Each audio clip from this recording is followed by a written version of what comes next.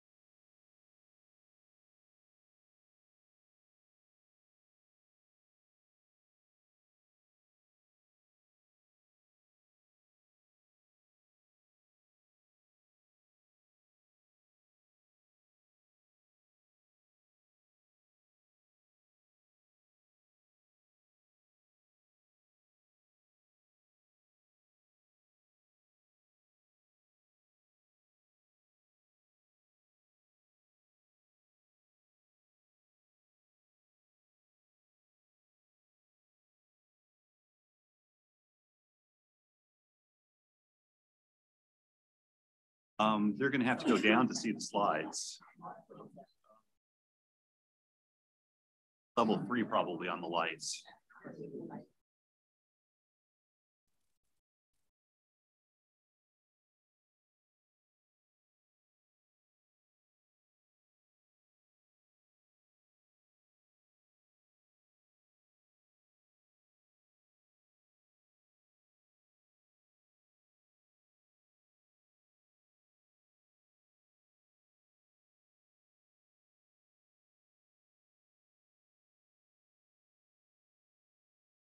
Good evening, everybody.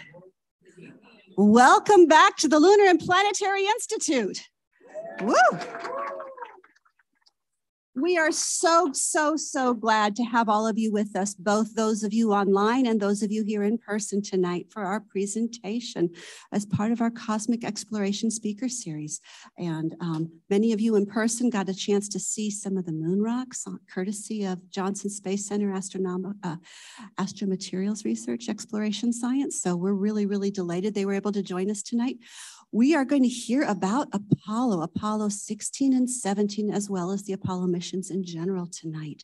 Um, wanted to let you know that we do have other presentations coming up as well. So if you don't already receive emails from LPI, you might want to subscribe. We'd love to have you. Um, and there'll be time for question and answer after the talk. So we'll have the talk and then Q&A and then some chance to sit around and talk. Let's go ahead and and please uh, help me welcome our director of the Lunar and Planetary Institute, Dr. Lisa Gaddis, who's going to introduce our speaker tonight.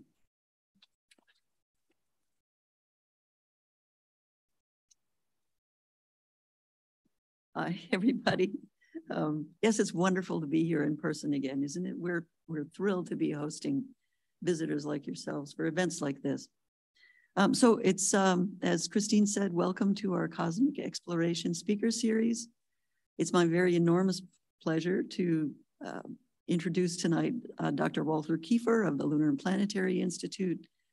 Um, Walter's educational background includes a Bachelor of Science in 1984 in Physics and Astronomy from Texas Christian in Fort Worth, a Master of Science in 1986 in Planetary Science from Cal California Institute of Technology in Pasadena, California, and a PhD in 1990 in physical, phys planetary science and geophysics from Caltech as well. After that, he uh, had a term from 1990 to 1993 as, a, thank you, uh, as a National Research Associate, um, National Research Council Associate at Goddard Space Flight Center.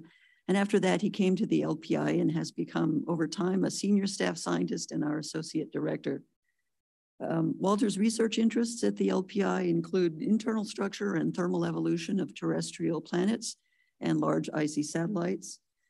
Um, Walter is um, very busy working on numerous planetary missions for NASA. He's a co-investigator of the Deep Atmosphere Venus investigation of noble gases, chemistry, and imaging, the so-called Da Vinci mission that you've probably heard of, which will explore Venus uh, in the late 2020 as 2020s as part of NASA's Discovery mission. Discovery Program. Walter's also a co-investigator on the VENSAR radar science team on the European Space Agency's mission called ENVISION, uh, which is an orbital remote sensing mission um, to Venus launching in the early 2030s. Um, he's recently selected to be the US mission scientist of ENVISION, and he's a co-investigator on the gravity and radio science team for Europa Clipper. So a very busy fellow for next uh, many, many years. And as you've heard already, Walter will be talking to us about Apollo 16 and 17 tonight. Thank you, Walter.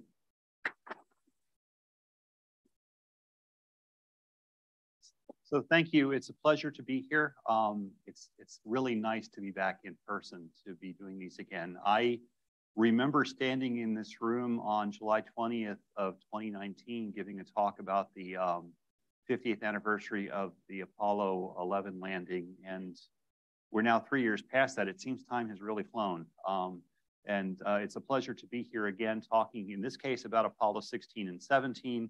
Uh, we're focusing on those uh, because they were the last two missions of Apollo. They were the two missions that flew in 1972. So this is the 50th anniversary of those two. Um, the last one, Apollo 17, launched. Um, if you reckon it by Houston time, it launched very late on December 6th. Most people will record it as very early on December 7th. Um, and it, it landed on, it came back to Earth on December the 19th. So we really are very close to the 50th anniversary of the end. Um, and my intent today is to give a retrospective, not just about those two missions, but really how we did geology on the moon. Um, this is meant to be a science talk. I will try and explain why, why we did certain things or why the crews did certain things. Um, but but I, I want to I there's a lot about Apollo that I, I don't have time to cover. I'm not going to talk about the details of the spacecraft, for instance, um, but I will give you a context of the um, what went on uh, before um, for, for all six of the landings. Um, I won't spend very much time on the first three because it's just a context for what happened um, on the later the last three missions. The last three missions in particular um, were truly science rich. Um, and we learned an awful lot about the moon. And I'd like to give you an understanding of why that is and what we learned. So, um, and I'm going to avoid using a, um, a laser pointer in this room because the folks that are watching this online don't get to see that. So I'm hoping that my verbal descriptions are good enough, and forgive me if they're not. Um, this picture of the full moon on the left shows the locations of the six Apollo landing sites. Um, the, uh, the last two, the ones we'll focus on tonight, um, are highlighted. The red star is Apollo 16. The uh, yellow star is Apollo 17. Uh, let me start by observing a little bit of science here. There are two basic colors on this image. There's this very dark gray to black, and then there's a, a, a lighter gray to kind of almost white. Um, they represent two different kinds of rock, two fundamentally different types of rock. Um, the darker stuff is basalt, which is very common on the Earth. Um, the lighter stuff is anorthosite, which does occur on the Earth, but is not that common. Um, and we will talk about samples of both of those as we go on. Um, you'll notice that the, um, the darker areas are often in circular structures. Um, think about where the Apollo 15 is, where Apollo 17 is.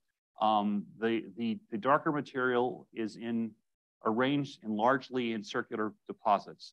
Those are impact basins. They are large holes in the moon that were create, uh, created when um, impactors, sometimes perhaps 100 kilometers across, hit the moon and made these large basins. Um, and we'll talk again about that as we go along. Um, the other thing, the other point I'd like to make here is the, um, the picture on the right shows um, an older area on the moon. And so scientists knew already, even before Apollo, that there was a range of ages because the areas that have a lot of craters, um, the, these holes in the ground, are, um, are older. And then there are places with many fewer and they're, they're younger. Um, and so we already knew there were a range of ages. Um, and, and we can, again, we'll talk about that as we go. So Apollo 11 and Apollo 12 were really, especially Apollo 11, really was simply about landing on the moon, getting out, picking up a rock, and coming safely home. I mean, that was that was the commitment that President Kennedy made, landing a man safely on the moon and returning him back to the Earth um, by the end of 1969. Um, and it was enough of a challenge from an engineering perspective simply to do that. Um, the crew of Apollo 11, um, Neil Armstrong and Buzz Aldrin, weren't allowed to get more than about 50 to 100 feet away from the spacecraft pretty much at any point. There was one time, and I'll show you that later, um, where they did, or Armstrong at least got further away than that. Um, I'll show you that later, but they were really restricted to a very close proximity to the spacecraft, um, 50 feet most of the time. Um, that's not good.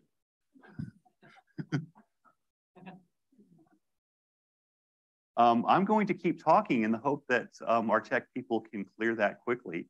Um, the picture on the right is um, a picture of uh, Pete Conrad, the commander of Apollo 12. Um, Apollo, Apollo 11 landed about four miles off target. That caused a great deal of consternation. They, they didn't know where they were going. Um, they ended up landing in a place that was not as safe as they hoped it would be. Um, and they wanted to they wanted to prove on Apollo 12 that they could land very accurately so that they could then target more difficult landing sites for the rest of the uh, missions. Um, the way they chose to do that is they chose to land next to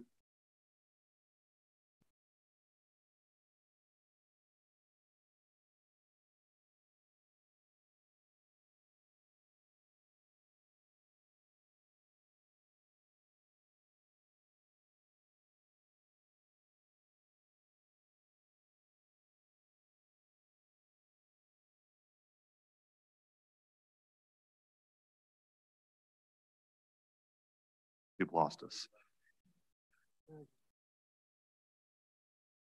Okay. Okay, well, I'm, go I'm going to try and keep talking while, uh, while they fix this. Um, on Apollo 12, they wanted to prove that they could land very accurately. We had landed spacecraft on the moon, um, uh, unmanned robotic spacecraft, um, as precursors um, to bring back information. Um, and they chose land to, to, land next to one. And you can see the lunar module in the background. Um, right, we can. I promise you it's there. Um, and, and on Apollo 12, they walked um, and they were, um, uh, so you can see where they are. I mean, that's the lunar module in the background.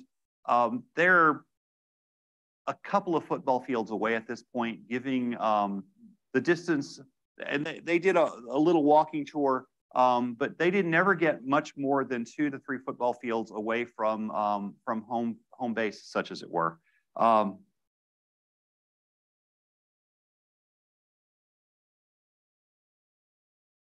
so by Apollo 14, they were willing to, um, they knew they could land safely. They picked a more challenging location and they let the crew draw, walk a little bit further away. They let them walk close to a mile um, which was really the limits of what you could do in that spacesuit. Um, they were walking from the, the arrow there on the lower right, lower left that points out where the spacecraft landed. They wanted to get up to that crater at the top. Um, they chose that particular crater because deposits from one of those large impact basins is strewn over this area and they wanted that material. Um, it would it would let them determine when that impact happened, the Imbrium Basin impact uh, occurred but the thing is, you can't just go land and say, we'll pick it up because, you know, in the almost 4 billion years since that happened, the um, there's been a lot of churning on the ground. So the actual surface is not that original material anymore, but you pick a young crater like Cone Crater there, um, and it then sprays stuff from below the ground. Um, in this case, given the size of the crater, it's probably spraying things from 60 to 80 meters, so 200 to 250 feet below the ground. Um, and so they were able to pick up rocks, and this is an example of the rocks right near the rim of the crater um, that, that were ejected out. And these are thought to date the impact of the Imbrium Basin, that large circle on the left side of the moon. If you think of the eye of the man on the moon, that's the one you're thinking about. Um, and that was now dated because of these rocks at 3.93 billion years ago, which is remarkably precise, but I think is quite, quite likely the right number. But just as an example of how hard this was, well, two examples. They, how do you carry equipment around? Um, they, they had a little um, cart that they were supposed to pull with them, and it had two wheels, and they were supposed to carry all of their tools and bring back all of their rocks on it. And it turned out to be very rickety. The, room, the moon surface is very rugged. Um, and basically, it was so difficult to pull that at some point they picked it up and they just walked carrying it. At one point, Mission Control begged them to just leave it and keep going. Um, the other problem was that they could not, they, they, they weren't sure exactly where they were because the, the surface is going up and down and up and down, all these rocks. They are at this point only about 20 or 30 feet from the rim of that big crater and they never saw it. Not their fault. They tried really hard until they got to the point where, where mission control said, you got to go back. You're going to run out of oxygen. And they had to go back to their spacecraft. And we've taken pictures later. So this is a picture from Lunar uh, Reconnaissance Orbiter, which has been orbiting, uh, NASA's had orbiting the moon since 2009. It's got a really slick camera system on it. One of my colleagues works on that mission. Um, and they took this picture and all of those little arrows point to the tracks where you can actually see where they went. Um, it's not each footprint, but as they scuffed up, they made a darker trail. Um, and they knew actually from, from pictures even that they took on Apollo 14, they figured out about a couple of weeks after they got back how close they were. But this picture proved it. Um, and everybody was like, oh God, we were that close. Um, and I really feel for the guys that, that were that close to looking into that crater and didn't get to. But it, it makes the point that they needed something more than just walking. So the last three missions, as I said, were very science rich. Um, NASA, NASA always has to have a name. Um, these were the J-class missions. Um, I don't have time to explain how that came about. There was a good logical reason for it, but just trust me, let's, let's just go with it. Um, the, the last three missions, Apollo 15, 16, and 17, had three great advantages over the previous missions. First, they had done an upgrade to the lunar module. So instead of staying for a day and a half and having two four hour long moonwalks, they could stay for three full days and have three seven hour long moonwalks. Uh, that's, that's a great advantage. Um, the second advantage is they also were able to carry a lunar rover. Um, think of a little dune buggy in effect, um, powered by batteries um, and engines on each wheel to make it fairly mobile on difficult terrain. Um, this means that they could get, go much farther.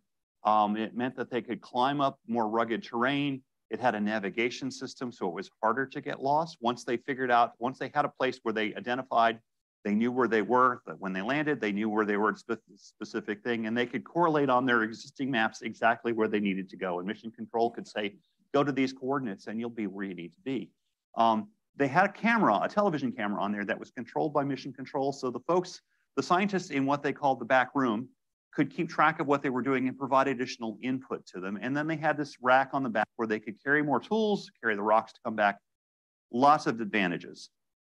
The third great advantage that they had was that they, because they were not developing techniques for landing on the moon anymore, that had become, I don't know if you could call routine. I don't know that landing on the moon would ever feel routine to me. I would love to do it even once, and I'm never going to get that chance. Um, but it was something that they knew they could do. So they were able to spend more time training to do geology. And on the last three missions, they, they took between 15 and 18 field trips each per crew, um, sometimes for many times for three days at a time. They would go to different places to, to learn about different kinds of rock that they might see. They would do their training in backpacks like they would wear on the moon. So they got used to doing the real circumstances. Um, and this turned out to be a huge benefit to them when they got there because things didn't always go the way they planned. Um, all of the missions, all six of the landings deployed uh, various sets of experiments on the surface. Um, what I happen to show here is a seismometer, which was used to detect moonquakes, but also it's a great tool for determining the structure of the moon. So um, you, you'd measure the speed at which earthquake or moonquake waves travel through the moon and you can infer the type of rock and how thick is the crust. Is there a mantle? Is there an iron rich core? And the answer is yes, there is an iron rich core. So we actually learned that from Apollo. Um, but then the last three missions also carried a lot of experiments on the um, command and service module. So we're looking at the, the little um, gumdrop shaped structure at the bottom is the command module where the crew stayed. Um, this is a picture taken from the lunar module looking back at the command module. And then there, there's that big open bay where they carried a lot of experiments, um, a large fraction of which were a pair of very big cameras. This is the 19, early 1970s. I think you might suspect that the cameras were closely related to things we might have had looking at the Soviet Union at the time, but probably not as good because we probably didn't want to give away the, the exact capabilities of our spy satellites. But that kind of capability, and they brought that back, that film back. They also carried chemical composition sensors. On this mission on Apollo 17, they had a radar that could see down into the ground, and you can see that antenna up there sticking away from it. Um, so they did a lot of different things, and I could give you a whole talk about this.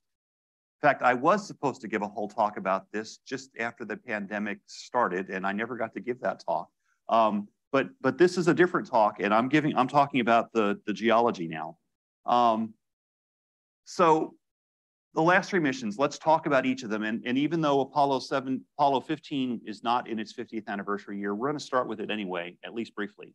Um, the picture on the left is um, an overhead view of the landing site. The red and white triangle is where they landed. The um, relatively smooth dark material is the Mare plain. Mare is the, the um, astronomer geologist word for for what turns out to be lava plains on the moon. Um, the, the sinuous structure just to the left of the triangle is something called Hadley Rill that turns out to be a lava channel. Um, lava flow, lava flowed through that at one point as a liquid. We'll see it from the ground in a moment. Um, so there were two objectives. One was to, um, to collect basaltic rocks, volcanic rocks from the Rill and the Mare Plains, uh, because this is a different location from where they'd been before. Um, and then the, the more rugged material is part of the rim of this basin, the Imbrium Basin. It was produced, as I said, when something large hit the moon um, and it pushed up this rim. And so the expectation was that deep crustal material was uplifted during this impact and it would be exposed near the surface. So things that might have been 30 kilometers below the ground, 30 kilometers, 20 miles down below the ground that you would have never gotten to, nature has brought to the surface so that we can collect. Um, and so that's why they went there. Um, so this is, this is a picture of Hadley Rill um, at the landing site. You can see one of the astronauts with the rover. Um, it looks like you might drive into that. You might think, were, were, they ever tempted? And I think the answer is no, they were not. Um, the rill is at the type of place, at the location of the landing site, it's about 1.5 kilometers or a mile across. Um, it's about 300 meters deep, so a little bit more than three football, football fields stacked on top of each other. Um, and the slope was about 25 degrees, which is probably more than the rover could have handled. They certainly weren't going to trust it. Um, it turned out the rover was pretty good at climbing, but it's much better to try and climb up things so that if you have a problem, you can slide back downhill, as opposed to going down into something. And if you have a problem, you don't get to climb back up. So they didn't go down into something like this. It was never it was a, a no-go. Um, they brought back rocks from here. Um, almost all of the all of these rocks have numbers, and I, I fear to tell you that there are a lot of us in this field that know these rocks by numbers. And if you had asked me, said, "Well, what is 15016, Walter?" and I would have said it's the seatbelt basalt, because that's most of them don't have names; they're just known by numbers, and a lot of us can quote a lot of numbers. Um, sad, sad but true. Um, these are basalts. These are like the rocks that come up, for example, in Hawaii. The dark rocks at volcanoes in Hawaii, for instance, are basalt. It's a very common kind of volcanic rock on the earth. These all turn out to be 3.3 billion years old. Um, the one at the top is called Great Scott for two reasons. One is Dave Scott, the mission commander, collected it, and it is the second biggest rock ever collected. It was 9.6 kilograms, so figure a little over 20 pounds because of its size and because of who collected it, it got nicknamed Great Scott. But, but if you're going to talk about it in a paper, you've got to call it 15555. And usually you've got to define it in terms of subpieces. So you might have commas and additional numbers after that. Um, the one at the bottom has a more interesting story. Um, it was not at one of their sampling locations. As they were driving along, um, they drove, they were dri driving by it, and Dave Scott, the commander driving the rover, saw it, recognized that it was unusual looking, and I'll explain the unusual in a minute. And he knew that if he had asked mission control, he would not be given permission to pick it up. He wasn't going to let that stop him. Um, these crews, of course, were all military pilots, with the exception of the of Jack Schmitt, the geologist on Apollo 17. They were all military officers, very well trained, very well disciplined. They understood following orders. They also understood when sometimes it was good to be creative in interpreting your orders and not asking permission. Um, so I'm guessing he thought this out in advance. I don't think he figured this out on the fly. I don't know that. Um, I only met him once and I didn't get to ask him that question. Um, but my guess is he thought this out in advance and he stopped. And mission control is following. They can tell that the, the, the engine's not progressing anymore, that there are no more RPMs on the, on the electric motors.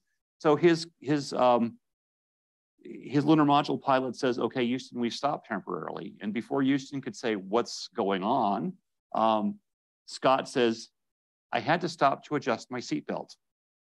And indeed he did. He adjusted it off. He got out of the rover.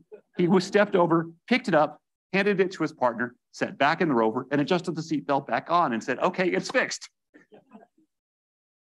NASA had no idea what happened until they got back and they were um, looking through the rocks in um, the sample lab at JSC.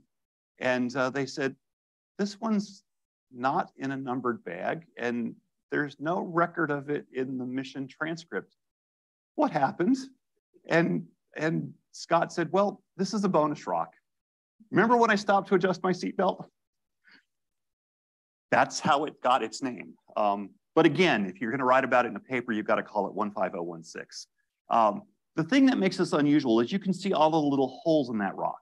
Okay, holes in the rock is not very scientific. So a geologist would call those vesicles. Um, big science word, um, and I don't expect you to remember it, but that's what we, we would call it. Um, and it indicates that there was some kind of gas in this rock when it formed. It, it made bubbles.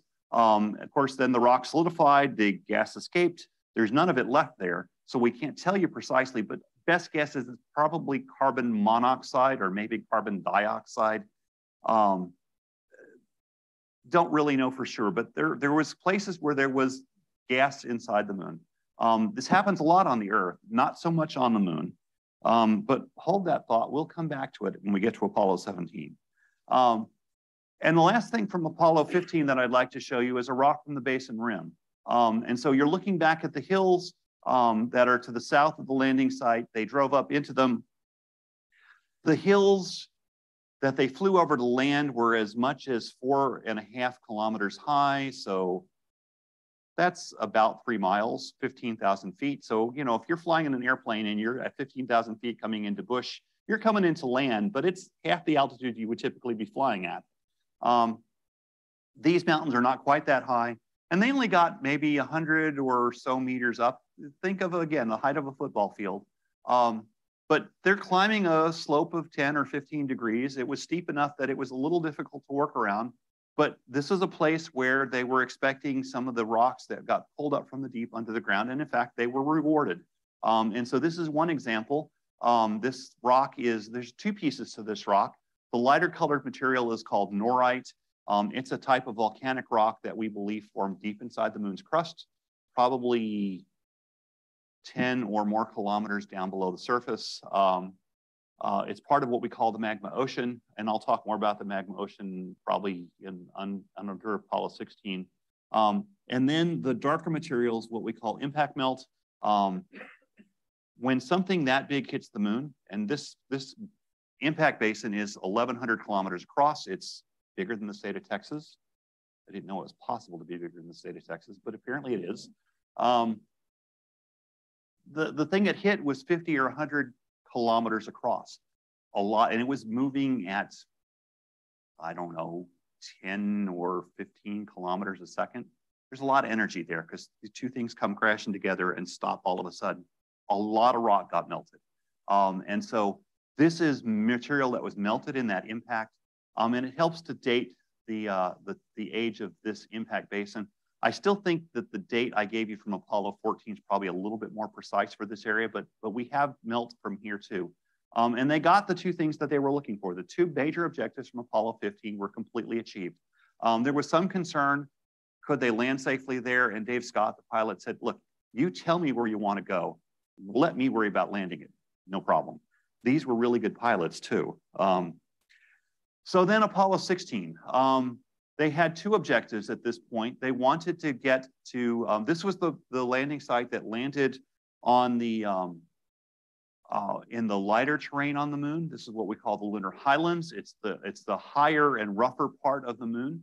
So they wanted that crust um, and they were hoping to get samples of what they thought might be ancient lunar volcanism, older than any of the uh, basaltic rocks they had collected up until that point. Um, and so they had this picture um, pictures like it. Um, and, and they actually landed at, at the point uh, where the arrow is pointing. That was the landing site. Um, and there are two main terrains around here. First, you can see there are a lot of impact craters, all of those circular things. This is an older area of the moon. That's, that's very clear. We knew that.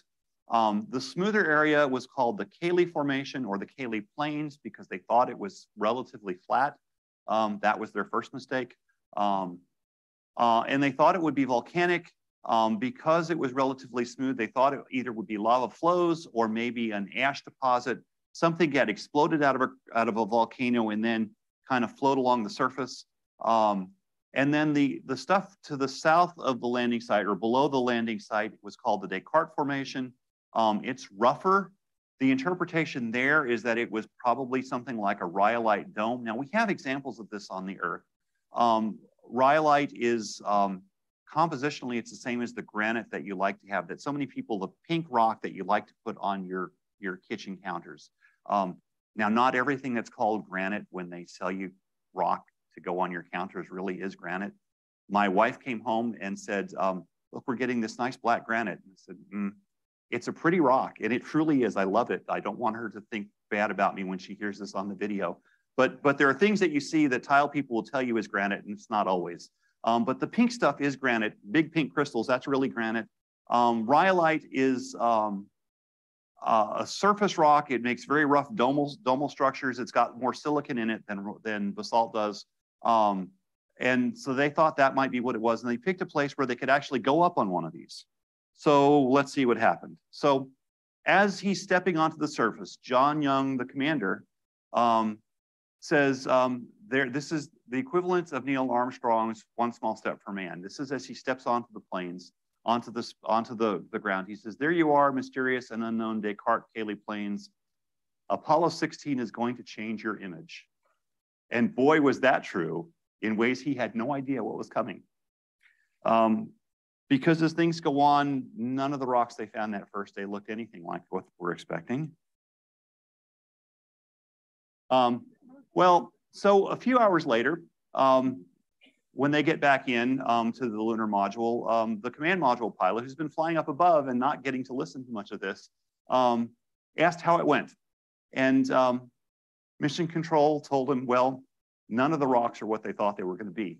And that's when Ken Mattingly says, well, it's back to the drawing board or wherever it is geologists go. Um, this was the mission where everything turned out different than they thought. Now, the good thing is that these, as I said, these crews were really, really well trained. Um, mission control, the, the crew knew that even though this was not what they were expecting to find, they knew their descriptions were right. They knew that they were not finding what they were told to find. Mission control, the scientists in the back room, knew they were well enough trained that they believed them. Um, if this had happened on Apollo 12, say, they would have thought they were getting bad descriptions, but they knew this crew was telling them the right stuff.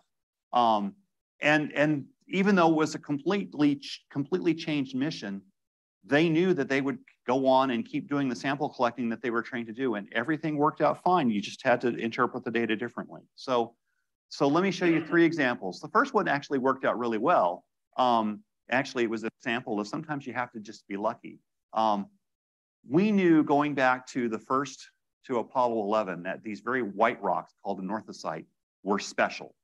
Um, the very first lunar science conference, it was called the Apollo 11 Lunar Science Conference.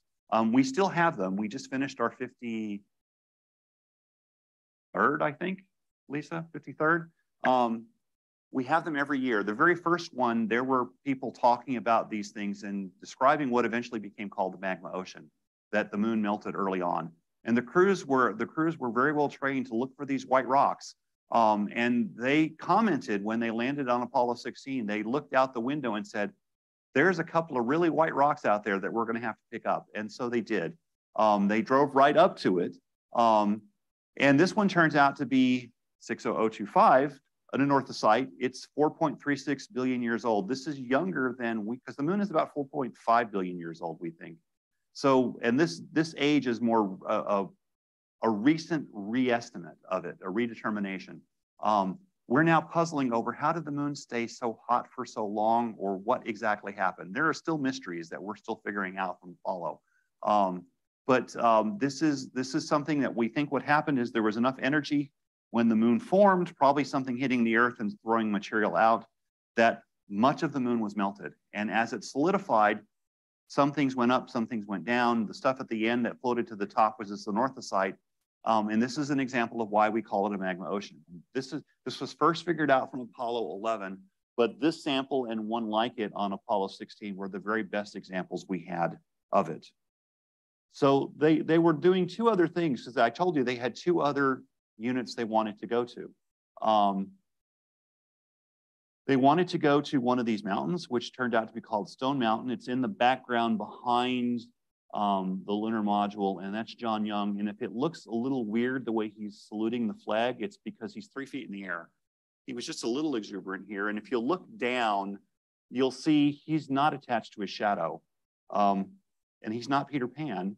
Um, so he's jumping, if you see that in the, in the, in the video. And so his crewmate um, timed it to get him at the, at the top of his jump. Um, this is uh, uh, this mountain is about a third of a mile high. They got and 150 meters up it um, on a 20 degree slope or something like that. It was near the limit of what they could climb with the rover. Um, so they got maybe a third of the way to the top. Um, and there are no no rhyolites up there. In fact, it's this what they would call a fine-grained impact melt breccia. Okay, um, uh, this is rock that was melted at some point in one of these big impacts. And um, let, me, let me explain where it came from, maybe after I do this next slide. Um, the next day, they drove north to a crater called North Ray Crater. There were two craters, young craters that produced rays scattered over the terrain. And so creatively, the one to the north of the landing site was North Ray Crater. And the one to the south, can you guess? South Ray Crater. Um, and, and it works, and we still call them by those names. Um, they didn't actually get to go to South Ray Crater. It was too far away, but they did go right up to the rim of North Ray Crater. Um, it's such a big place that the pictures from the ground don't do it justice. This is an orbital picture, again, taken by Lunar Orbiter, Lunar Reconnaissance Orbiter. Um, looking down into it, this is about a kilometer across, um, a kilometer, so about six tenths of a mile. Um, and it, the, the stuff from the base, it's about 240 meters deep uh, two and a half football fields. And the stuff from the bottom comes up and gets deposited on the rim. There's a rock there, which I don't have a good picture of, um, called House Rock. It's about 20 meters across and 12 meters high. And they, they looked at it and said, this rock is the size of a house.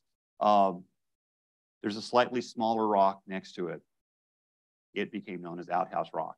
Um, but they brought back rocks from this. And so this, um, this is the what's now a fragmental impact breccia. Again, it's formed by an impact process, not so much melting, um, but a lot of things beaten up and then fused back together.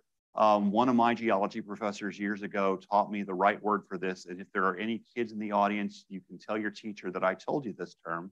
This rock is all boogered up. Um, and it's the right way to remember it because, well, it is. Um, and um, so there are two very different kinds of rocks here. Um, Probably one of them is impact debris from the Imbrium Basin. What we argue about is whether both sets of rocks come from Imbrium or whether one came from a different one. And I'm on the side that says we got a twofer, we got samples of two different basins at one place. Not everybody agrees with me. And so one of the lessons is scientists can disagree. It's an okay part of science. We, we fight rather vigorously, in fact, um, but that's okay. Um, and so there are some things we don't know with certainty. Um, so um, going on, Apollo 17, the last of these. Um, they had two more objectives here. Um, this was a landing site that was not planned um, until Apollo 15 flew over this area. Um, and they looked down and they said, there is something that looks like a young volcanic vent. Um, and so NASA decided it would be good to look at it. And we'll see that in a moment. Um, and again, this is the basin. This is a, this is a valley called the Taurus Littrow Valley because it's the Taurus Mountains and it's near Littrow Crater. And so sometimes that's how the naming goes. Um, they landed in the relatively smooth part on the floor um, and they went um, south to what's called South Massif and north to what's called North Massif because these are things that got pushed up um, in the basin impact that formed the Serenitatis Basin. So I showed you Imbrium and the one next to it on the right in the Man of the Moon um, is Serenitatis. Um, and again, they wanted to get ancient highland crust that had been pulled up, um, in this case, far from the Imbrium impact. And they mostly got what they wanted this time, not entirely. Um, so this is a comparison of how far they went on the two missions, um, Apollo 11 and Apollo 17. Remember I told you they only got 50 feet away from the lunar module? Um, this is the activity to scale on a Major League Baseball field. So the distance, you know, um, lunar module's about at shortstop, and um, you know they got as far as way, you know, to the to the to the bottom there as as first base. So you know the distance a good Major League Baseball player can easily throw throw a baseball is how far they were allowed to walk. There was one point they had they had flown over a small crater that Armstrong saw as he was landing. Um, Aldrin didn't get to see it, by the way. Um, the lunar module pilot didn't pilot anything. They controlled the computer. And so he was telling them um, the readings on how high they were and how fast they're coming down. The lunar module pilots never saw anything until they got on the ground. But Armstrong had seen it and he thought, you know, I want to go get a picture of that, but I want a rock from that. Now, do you think mission control was going to let him get out of the side of the TV camera? This is the first landing. Of course not. What did I say about Dave Scott? Neil Armstrong was a very good military officer too. So he exerted his um, curiosity and his creativity, and he went sneaking over there without asking anybody. And before they missed him, he was back. So that's the stuff that's out in the, out in the center field. That's as far as they got away. Um, uh, and you know, he was, you know, if he had been in a hurry, he could have been back at the front of the at the lander at um, at the ladder in 10 seconds, 30 seconds, something like that. By the time you get to Apollo 17, they are now walking on, um, they, they, they're taking three EVAs, driving around. Um, this is a picture of Manhattan Island in New York City to give you a scale, that Central Park in the middle of it. Um, so it's a fair piece of New York City. They're driving around a lot. They drove 22 miles total. Um, but for, for those of you that are here in Houston, the, the the, the red part at the lower, lower left, think about that being at Reliant Stadium, um, just inside the 610 loop, and put the stuff at the upper right in the corner of the East Loop and the North Loop. You know, so it's all of the inside loop of, of the city of Houston. It's that's what they covered. Um, and they, they, got to the rovers really were a big thing. So uh, a few pictures of a few examples of the um, of the rocks they brought back. Um, Let's start with the, um, the, the, supposed um, young volcanics. This is an orbital picture of that crater, Shorty Crater. Um, you can see that dark stuff is what got them really excited because that, that was interpreted as volcanic ash.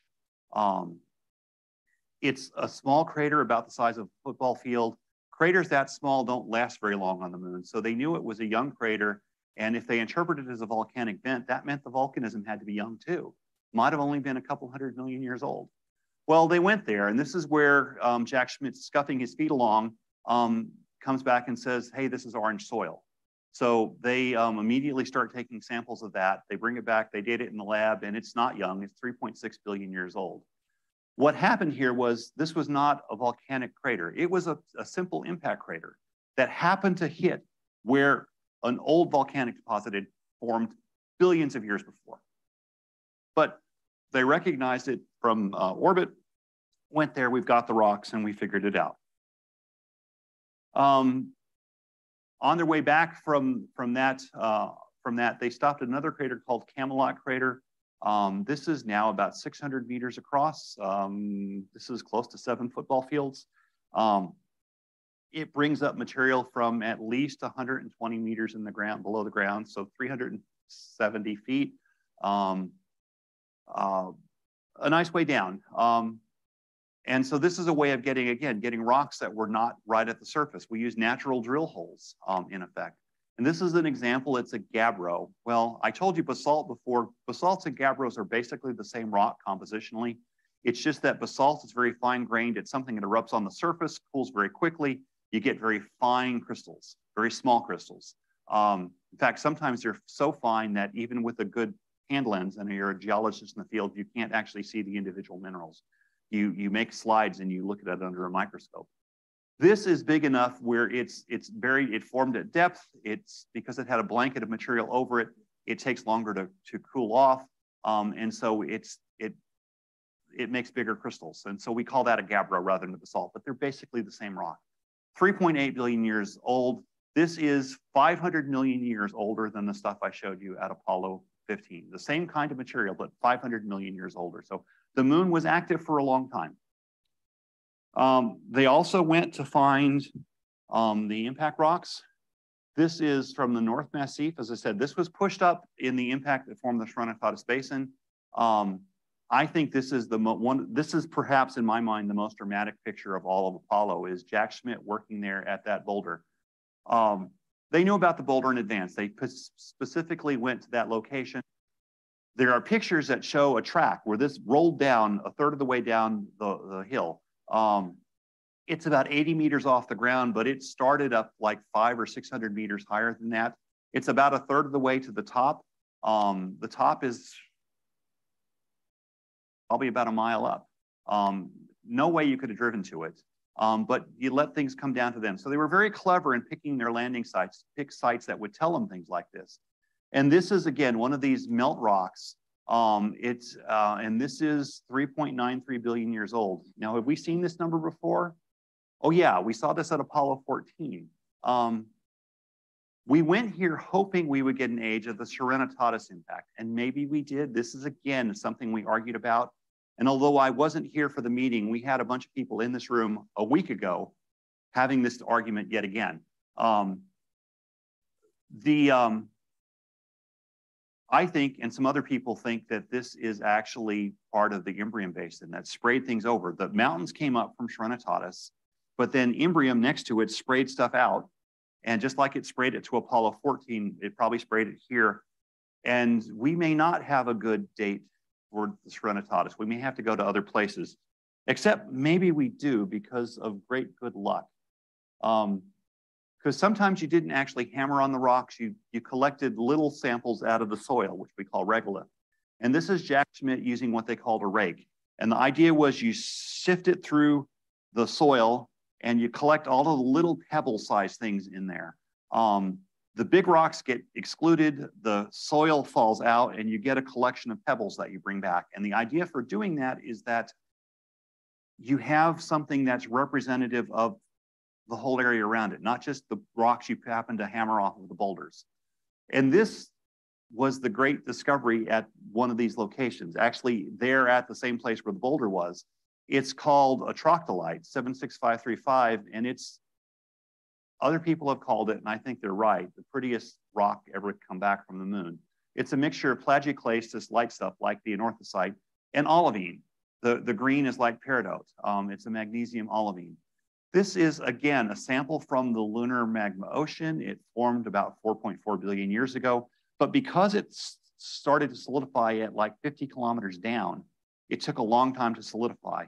And we know from a way of dating this that this got brought to the surface at 4.2 billion years ago. All of a sudden, from 50 kilometers all the way to the surface. So that sounds like the impact that made Apollo 17, made, it, made the Imbrium Basin, excuse me, the Serenitatis Basin. Let me get the right basin here.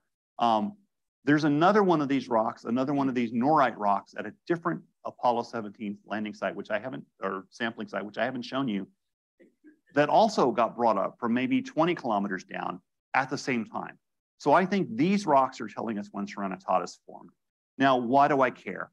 Well, either way, the Imbrium Basin is nearly is the nearly the youngest basin on the moon. So a lot of things happened by 3.9 billion years ago. A lot of impacts were hitting the moon. And why do we care on Earth? Because the Earth was getting hit by all of the same things too.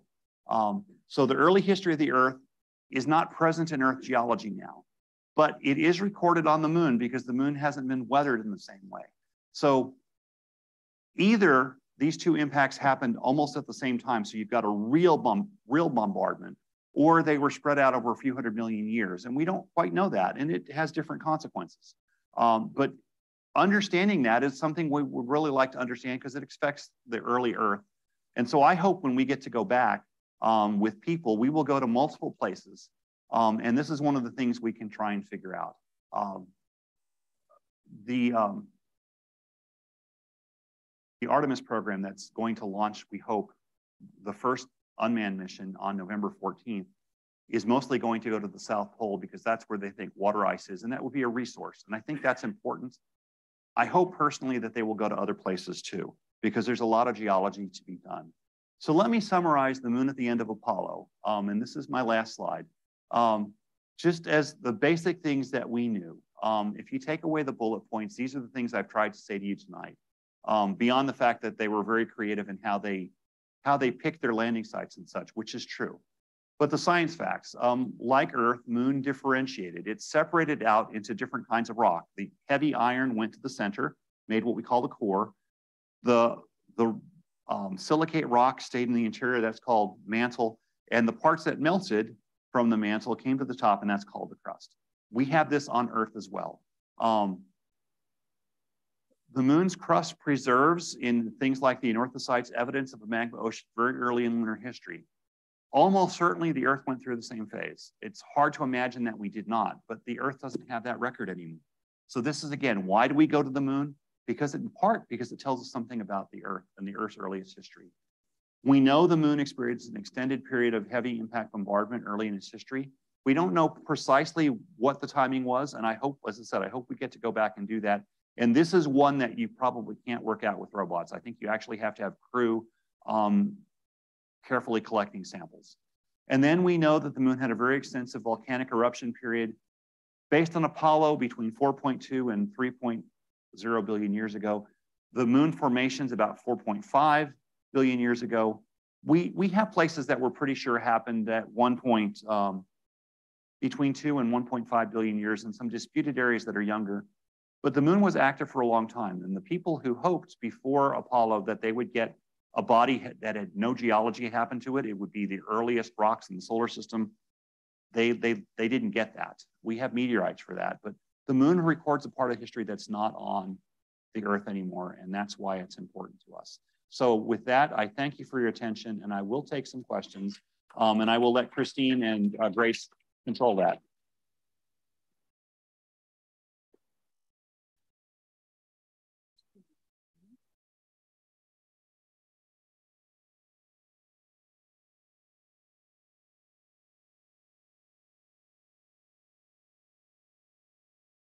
And can hear us so that those who are watching online can hear us. We want to make sure that the questions are into the microphone, please. So um, got a question over here first. Oh, um, I don't remember the name of the rock, but uh, you, uh, vestibules or something, the bubbles coming out. Vesicles. Vesicles. Yeah. Um, how do you know there wasn't gas inside of the rock? Well, or did it was it just completely porous? Um, Thank you. Well, so there was gas in the magma when it came up, and as it starts to solidify, you get solid material, and then you get these bubbles that are held there, and until it solidifies, eventually the gas escapes because it's had a long time in a place where there is no atmosphere. Um, but the, the gas had to be in the magma originally, um, and then the rock solidified around it. That's what makes that's what makes the holes, like Swiss cheese, kind of. How uh, how far into the Artemis program will they start to do more lunar geology? So so the Artemis plan is that the first mission that launches, um, we hope in a week and a half, will be um, without crew. The second mission um, will have crew on it, but they will go into lunar orbit. Um, there will be a test, an uncrewed test of the landing system.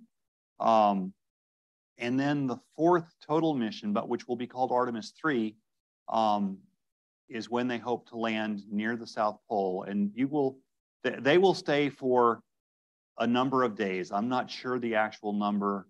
and at this point, I'm not sure that they're going to have a rover. They may be limited to walking. I'm not 100% certain of that. But they'll, they'll have a number of days out on the surface. So they'll start doing geology immediately. They'll start putting out um, experiment packages. Um, and right now, NASA has plans for at least Artemis 3 and 4. Artemis 4, I think they've just now decided will be a lander. They were thinking it might just be an orbiter. Um, but, but we're now talking to 2027 or 2028. And beyond that, um, you're making projections based on what gets appropriated, what NASA's budget looks like. And nobody in their right mind projects that far out um, with any sense of, of certainty. So that's the hope. Um, but you know, it will depend on what Congress wants to do um, in 2027 and 2028. You have to plan far enough in advance to build your equipment. So you can't start, you can't say, well, we're going to go next month. Well, you're not going to have your rocket. Um, but but plans might easily change between now and then. But it, you know, I hope by say 2026 or 2027, we'll have crew on the ground, um, and and they will start doing geology on the very first moonwalk. How are the ages determined? Good question. Um, how are the ages determined? Um, there are radioactive elements in these rocks. Um, uh, uranium and thorium are examples that you probably have all heard of, but there are other things um, like uh, rubidium or um, neodymium, um, no, samarium, not neodymium, sorry, that decay at known rates. Um, and so you measure the what's called the parent product, the radioactive elements, with a mass spectrometer, a fancy big equipment that um, that measures not just the element, but the particular flavor of the element based on how many neutrons are in it. Um, and then you measure how much of the material that it makes, what's called the daughter product. And you know the rate at which one form goes to the other. And so you can then say how long it's been since, um, since the rock solidified. And different systems are useful for different things. They have different age ranges, they form and they, they work better on different kinds of rocks. Um, but we have multiple ways of doing that, and that's the basic method of doing it. No, it was a. I have a couple questions, and they're pretty basic just because I don't have as good of an understanding of this stuff. But you were mentioning when, uh, like, the moon is getting impacted and it's getting those craters, it's bringing up material from like many, many, many miles down. So I'm just wondering, how does that if the crater isn't many, many, many miles down, how is the material from that far down coming up? So, okay, that's a very good question. So the, the ones that bring things up from that deep are these very big impacts that formed a long time ago that made these basins that are a thousand kilometers across. And that really does excavate down tens of kilometers. It actually digs a hole that's that big initially, but it melts all of that material and it eventually comes back together, but it throws stuff out from from the bottom of this hole initially. Um, and, and the best way you can figure that out is actually we have computers that are capable of making those models. Um, and then before you say, do I believe the models, you actually then go look at the rocks and say, do the predictions of the models match what I see in the rocks? And the answer is they do, which gives you confidence in the, the, the, um, the models. And you can actually look in some cases at the details of the minerals in the rock and different kinds of minerals are stable under different conditions. And sometimes they're stable under very high pressures. And so if you find something that wanted to form at say 30 kilometers down and the pressure associated with that, but it's now at the surface, you know it didn't form at the surface. You know it formed 30 or 40 miles down. So it's a combination of things. It's the size of the crater, it's the computer models, it's the details of the rock, all of which tell you a consistent story. Now, the, the, the smaller craters that they walked up to that I showed you a couple examples of, the North Ray crater at Apollo 16 or Camelot crater at Apollo 17, these are a few hundred meters across and 100 or 200 meters deep. And so they were only bringing stuff up from, you know, a couple hundred meters down, a couple of football fields. But the deep rocks are coming from these very large impacts that only happened early in the solar system, 3.9 or 4 or 4.2 billion years ago. They don't happen anymore. There aren't those kinds of things hitting anywhere anymore. But the smaller ones are still happening. Um, and, and we take advantage of that too.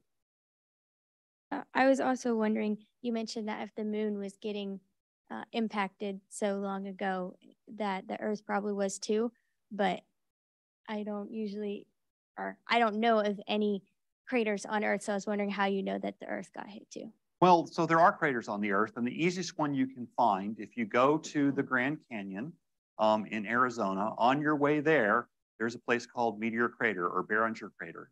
It's um, about a half mile across, give or take. I don't remember the exact size. Um, it's formed, it formed about 50,000 years ago when something, a piece of an iron meteorite, um, and they've got the meteorite or parts of the meteorite on display there at the visitor station. Um, uh, something about the size of a school bus or maybe a couple of school buses across hit and made this hole in the ground. And there are other craters like that on the Earth. Um, some of them are highly eroded because they're old, um, but there are a bunch of them. There are probably a hundred or more of these that are recognized on the Earth. But you know that's compared to literally millions of them on the moon because the, the moon doesn't have the weather the Earth has. It doesn't have rain. Um, it doesn't have wind. It doesn't have all of the things that cause things to erode. Um, so there's a lot more on the moon that's preserved is the point. Um, but but the, the Earth definitely had been has been hit many times. And we under, we first understood this process by mapping things. Actually, it's the crater, truly Meteor Crater in Arizona was the place that people figured it out. Um, and they argued about it for years because there were people said, no, that's got to be a volcano because nobody could imagine that there was that. Um, but turns out it is an impact crater. It does have the kinds of rock that are indicative of um, impacts, but are not indicative of melting in uh, a volcano. I've lost track, but somebody somebody over here that has. Yes, I.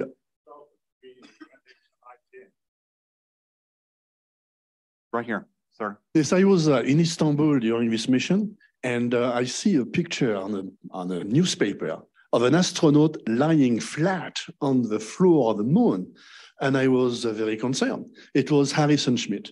He had fallen. Oh, and, uh, fallen, uh, yes. Yes, so sir. he was face down. Yes, there were. Yes, it um, was very disturbing. And um, um, I understand he fell next to a crater that is now dubbed uh, Ballet Crater because when he was falling, he was flying back and forth. And, uh, and I understand that the rock that was taken next to this was put in a box and not used for 50 years, that only very recently, this year actually, it was reopened. So is this true and what uh, did you find? Okay, so let me, let me take out two parts of that. First about all of the astronauts fell, every one of them. Um, uh, it's, you know, you're, you're working in a, in a spacesuit that's the equivalent of a pressurized balloon. Um, you're in gravity you're not used to, you're on a rough surface. Um, they all fell, every one of them multiple times. They all got filthy dirty. Um, um, the particular instance you're referring to, um, there's the video of that. Um, and uh, Jack um, is vocally expressing his frustration, shall we say. And, and all mission control, all the commentator could say is Jack Schmitt having a little problem. kind of words that you're not supposed to say on television. Um, but what were you going to do? Um, um, so I, I, don't know the specifics about that rock, but I will tell you there are a set of rocks that were set aside deliberately. Um, to get a moon rock to study, you have to go through an allocation process. You've got to tell NASA why you want to do what you're going to do, why you want to do it, why it's important, and then they judge it. They make a decision about whether they're going to give it to you or not, and you're not always successful. I've written lots of such proposals, and sometimes they said, sure, we'll give this to you. And other times they laughed and said, no, I don't think so, Walter. Um, and that's fine. I mean, you had to have you have to have good reasons. You can't just say, I want to do this because working with moon rocks is cool. Now, working with moon rocks is cool. Um, and, and every day I spent in the lunar lab was a day I cherish. Um, but that's not a reason for getting to do it. Um, but they set aside a set of rocks aside um, to wait for improvements in the technology. Um, and a set of those were, they started working on in 2019 um, for a program that's been called ANGSA, which is Apollo Next Generation Sample Analysis. And I told you there's a meeting here in this room last week. Part of it was a public meeting, and part of it was the team talking about its results, but they were actually in this room talking about it just a week ago. I wasn't there. I don't know the specifics about that rock, so I can't tell you what did they find. But they set aside a number of things that were important. Um, one of the core samples they brought back, I think they froze just to make sure if there was anything that got preserved. Um, and I look, I don't know these things. I can't keep track of every every study that comes out in planetary science, so I, I don't know the answer to it. But it's absolutely true that they set aside a certain number of things, and they've just announced another set of samples that will be available for a second such program where people are starting to write proposals to now. Um, so this is an ongoing thing. They're making advantage of the fact that that technology's advanced enormously since since then. I, I came into this field in the early 1980s.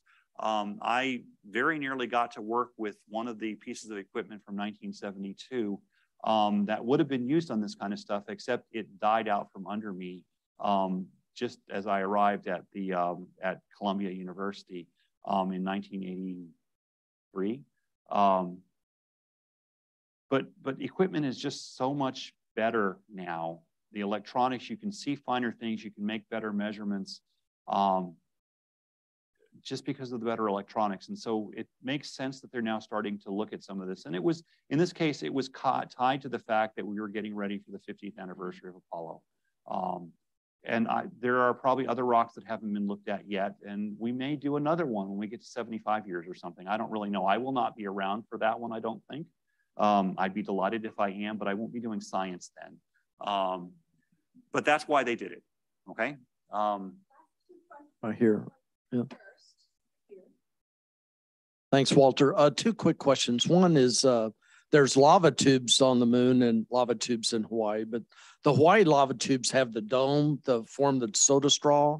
And I was curious why Hadley Rille never had a dome over it. And then secondly, I may remember it wrong or remember it incorrectly about on the Chang'e mission on the far side, there was some, I want to say there was some speculation about impacts on the far side causing magma displacement into the near side. Um, I was wondering if I remembered that wrong or if you could comment on that. Um, okay, so lava tubes first. There are a lot of these rills on the moon that are open. Um, why, I'm not sure I can tell you. Um, it may simply have been that these things, the material was moving fast enough that it, it never let it settle down at the top. Um, but there are other places where they are truly closed off tubes and we can see, we know that because we can see sky holes. We can see holes going into the ground um, in high resolution pictures. Um, and we actually can detect them with gravity. I was part of the GRAIL mission um, that measured the gravity of the moon to exquisite precision. And in places where we know there are these tubes, we can actually see the drop in the gravity because there's less rock. And we see similar signatures in some other places that tell us these are probably lava tubes. Um, but there's also a lot of these open channels and we call them rills. And there's, it's not a one-off thing. There are, there are enough, there's an atlas of them. Um, now, Chang'e, I that's another one that I have not had the time to follow that much. Um, I will say if they were talking about impacts along, well, I'm not even sure I'd believe it if they, if they were talking about impacts early in the history of the solar system that you drove magma from one side to the other. Certainly not the kinds of impacts that are happening today would not be driving magma across the moon. That just does make no physics sense to me today. Um, and that doesn't mean they didn't say it.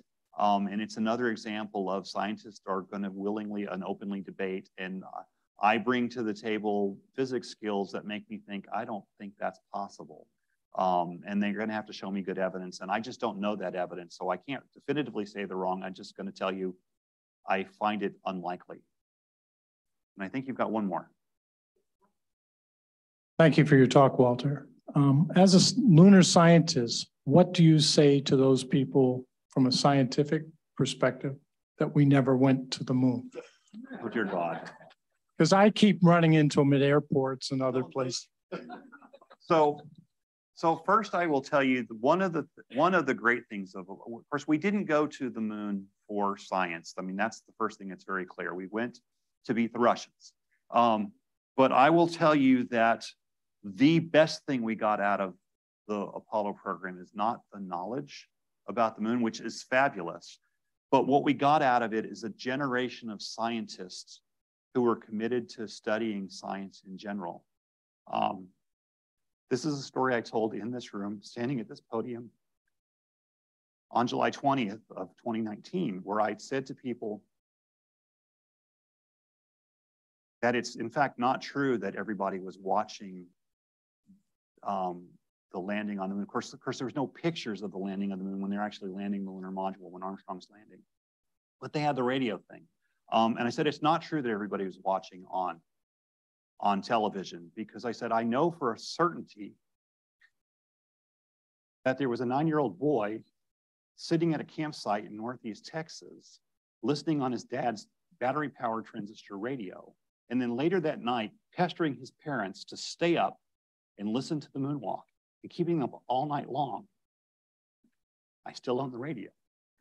We have a generation of scientists who got turned on not just to geology or planetary science or astronomy, but to science in general that were inspired by those landings. Um, the people that flew them will tell you that the kick in the pants you couldn't simulate, you couldn't make a, you couldn't fake any possible way. Now, okay, you might say that if you don't want to believe it, you'll say they're lying. But the fact is that these rocks are just different enough chemically that they're not like the Earth. Um, the basalt, and let me just take an, so two, two examples. I told you the anorthosite from the Highland crust. There are places like that on the Earth, but not a lot. It's all over the place on the moon. Um, and then the basalts. Um, first of all, they have very little evidence of water in them, whereas it's almost impossible to avoid having water in basalts on the Earth. Go to Hawaii, you make basalts at those volcanoes. How do you avoid getting them wet? You, you can't. The biggest place we make basalts on the Earth is on the bottom of the seafloor. How do you avoid getting them wet? But the lunar rocks, almost no evidence of water in them. And then one other chemistry piece about it the, the biggest way we distinguish the different types of basalts um, from the moon, we, we classify them based on, first of all, based on the element titanium. And so um, we call them high titanium and low titanium. And I promise you that if you told a terrestrial petrologist that this is a, that they, that the, um, what the titanium content of a low titanium rock on the moon is, they would look at you and go, that's enormous amounts of titanium. It doesn't happen that way on the Earth. So there are differences. The, the, the two bodies have subtly different compositions. Um, you can't fake the ages. We don't have rocks that are that old on the Earth. And yeah, the guy in the street is going to say, well, how do I know the data? But you know, enough different people are studying these things in enough different labs that you can't not do these side checks. So, so we know because the rocks tell us they were on a different place other than the earth. Is that enough of an answer? Okay. Won't satisfy that. Well, okay, you know, I, I, I have to talk as a scientist. You know, I if you're a skeptic in this country, um, uh, don't get me started on on that. And, and you know, there's also this thing called the greenhouse effect, and it's real. Um, and and again, there are people that don't want to believe it because they just don't want to believe authorities. But I have to live as a scientist and live with the data, what the data is telling me. Um, and the data is telling me that these are things from a place that's not like the Earth. Um, and in very, very clear ways, it's not the Earth. And we got them back somehow. And I watched them. Um, and I watched them and you know, how, you know, we talked about uh, Jack Schmitt at Ballet Crater. Is that something he could have practiced Probably not. I mean, let's just be honest. I mean, it's just not something you could have done. Um, the uh, it's people working in a different gravity field. The, the pictures, I think, tell you too that it's different than the Earth.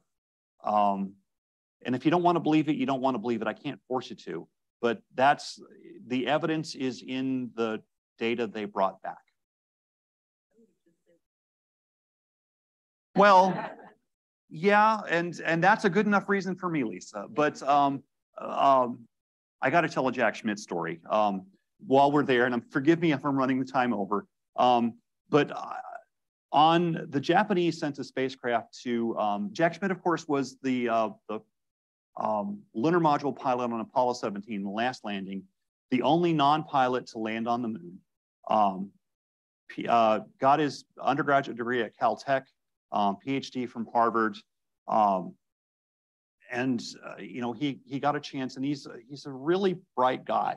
Um, he learned to fly jets and to fly helicopters in order to qualify to do this. Um, and he lands there. And anyway, years later, the Japanese sent a spacecraft to the moon called Kaguya. And one of the experiments they included on there was an, a high definition television camera, which was massive. And we all looked at each other like, what the heck are these people thinking? Well, after they come back, they, they re released a, a, video disc of some of the pictures, and you can find small versions of these on, on YouTube now.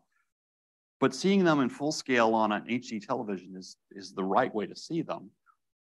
And we were, at that point, we were still meeting, our Lunar Science Conference was still meeting at South Shore Harbor in League City. Um, and in the lobby, we had set up um, a television where we were playing these. Um, they kept, the Japanese kept a security guard there to keep anybody from stealing the disc. Um, and I'm sitting there and I'm mesmerized by this. And, and I realized I've missed like three talks that I was intending to go see because I'm just watching thing after thing after thing. And then there's this guy standing next to me. And I hadn't wasn't paying attention he was there. And then he says, It's the only thing I've ever seen that looked like what I saw from the command module. And I looked over and it was Jack. Um, now I've known Jack for a while. It's not like I get to interact with him a lot, but um, but I have had that privilege, and I've met a few of the other astronauts along the way. But um, yeah, I mean, so yes, if Jack said he did it, well, he did it. Um, but but you know, for the skeptics, you know, there's data, and you're getting data from literally thousands of scientists um, who it's science is a self-correcting process, um, and people do sometimes get things wrong in science. I, like I said, you know, what they thought they were going to find in Apollo 16 is not what they found. Um, science is a self-correcting process. And so um, eventually the truth is going to come out. And these measurements by group after group after group says these are not like Earth rocks. The processes are familiar. The details are different, and they're different in ways that reflect the differences between the Earth and the Moon. That's how we know we went to a place that's not on Earth. That's how we know we went to the Moon and brought rocks back. Good enough?